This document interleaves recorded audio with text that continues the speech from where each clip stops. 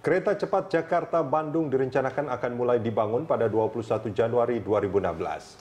Apabila proyek tersebut telah rampung pada akhir 2018, maka perjalanan Jakarta-Bandung diprediksi hanya menghabiskan 35 menit saja dengan kisaran harga tiket sekitar Rp225.000 setiap perjalanan. Widodo menggelar rapat terbatas membahas kesiapan pembangunan kereta cepat Jakarta-Bandung. Sejumlah menteri kabinet kerja dikumpulkan, termasuk pimpinan daerah yang wilayahnya dilalui kereta cepat. Presiden meminta jajarannya agar pembangunan kereta cepat dilakukan secara cermat. Presiden juga mengatakan meskipun pembangunan kereta cepat dilakukan pihak swasta dan bekerja sama dengan Tiongkok, namun ia meminta agar BUMN tetap berhati-hati dalam mengalkulasi. Di sini saya juga ingin menegaskan kembali, terutama untuk BUMN-BUMN yang ikut di dalamnya, pembangunan kereta cepat ini dilakukan B2B. Ada join antara Indonesia dan China. Oleh sebab itu, pembiayaan pembangunan kereta cepat ini juga sudah saya tekankan sejak awal tidak menggunakan APBN dan tidak menggunakan jaminan dari pemerintah. Tetapi walau demikian, saya minta agar BUMN-BUMN yang ikut dalam konsorsium ini prudent, hati-hati dalam mengkalkulasi terutama di equity-nya.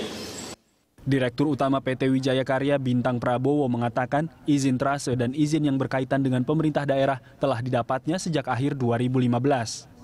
Pembangunan kereta ini nantinya diharapkan akan dapat mengurangi kemacetan di Bandung dan meningkatkan pertumbuhan di kota kembang.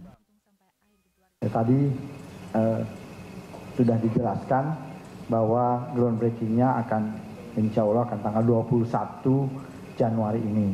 Di mana semua izin-izin, izin terase, izin untuk melalui kabupaten kota yang akan dilalui eh, jalur kereta api tersebut sudah kami dapatkan sebelum akhir tahun yang lalu.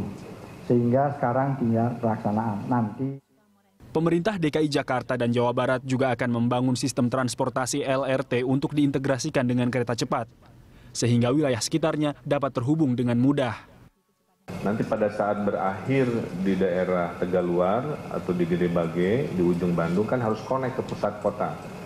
Masa naik bis yang nggak jelas gitu ya. Nah kita sekaligus ada LRT Bandung Raya yang dimulai tahap satunya di jalur yang mengkonek stasiun kereta api cepat ke pusat kota Bandung kira-kira begitu.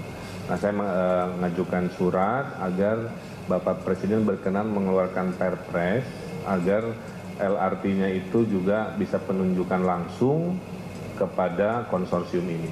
Sehingga teknologinya sama, kontraktornya sama, dalam time frame yang kurang lebih sama kira-kira Proyek kereta cepat nantinya juga akan merambah ke beberapa kota besar, salah satunya adalah rute Jakarta-Surabaya. Pramadika Samudra, Dwi Nanto, dan Satria Eko, Berita 1 Jakarta.